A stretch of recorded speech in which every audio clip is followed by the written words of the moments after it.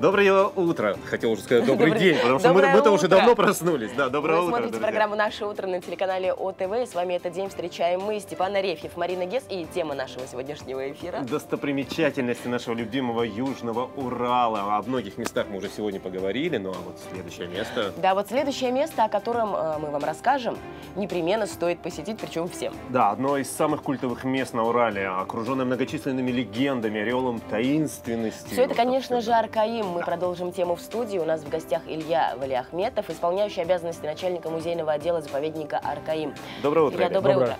Илья, ну вот расскажите в двух словах, вот что Ну. такое Аркаим? Вот для тех людей, которые сегодня Аркаим. Это уже не место. Аркаим Да. это уже понятие. Вот что такое Аркаим? И вот Ну, Аркаим, наверное, правильно, да, что и место, и понятие. Но вообще начать надо с того, что это памятник археологии эпохи бронзы 3-2 тысячелетия до нашей эры, то есть которому порядка 4000 лет.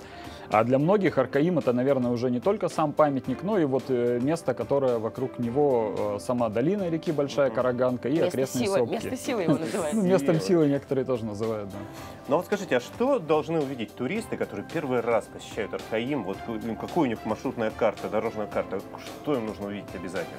У нас, э, конечно же, самым основным объектом у нас является поселение Аркаим, на которое мы проводим экскурсии. У нас два жилища музеифицированы, мы там рассказываем о бытии, о жизни в эпоху бронзы.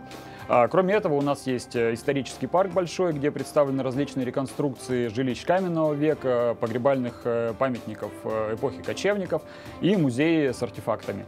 Но кроме экскурсий у нас каждый месяц проходят различные мероприятия. Мы в мае принимаем участие в международной акции «Ночь музеев».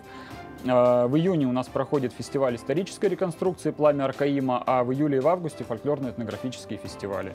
Так Илья. что мы ждем всех А, гостей. а, а, Илья, вот смотрите, Да. вот там же постоянно в Аркаиме проходят раскопки. Вообще, что уникального удалось найти? Может быть, чего такого, чего не находили никогда? Там же действительно много всего находится. Э, Ну вот сразу скажу, что поселение Аркаим, оно не единственное вот э, в своем роде. Таких э, памятников 27 на данный момент насчитывается. Аркаим наиболее известный из них. А, э, Вот эти поселения, они отличаются своей архитектурой, укрепленными сооружениями. А, Затем с этой же культурой связана металлургия бронзы. Это производство оружия, предметов быта, украшений из бронзы.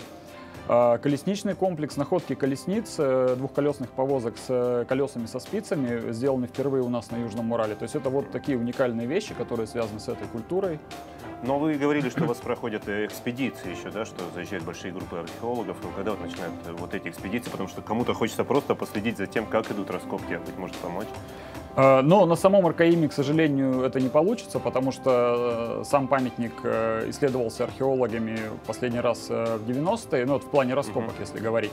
А, Но ближайшие, допустим, нашей экспедиции заповедника Аркаим исследуется поселение Левобережное, вот к этой же культуре, которая относится, оно в Брединском районе, то есть, ну, это в нескольких десятках километров от Аркаима.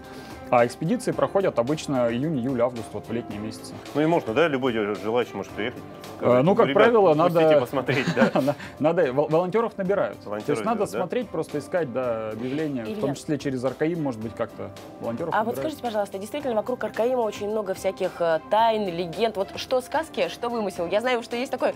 Вот ты, допустим, если приезжаешь, если Аркаим тебя встретил, ты можешь туда зайти. Если он тебя не встретил, закрыл перед А, тобой свои двери, энергетический. значит тебе, да, еще энергетический вход туда закрыт. Что сказки, что вымысел? Может быть, самый какой-то яркий пример? Но, знаете, это все появилось где-то в 90-е годы.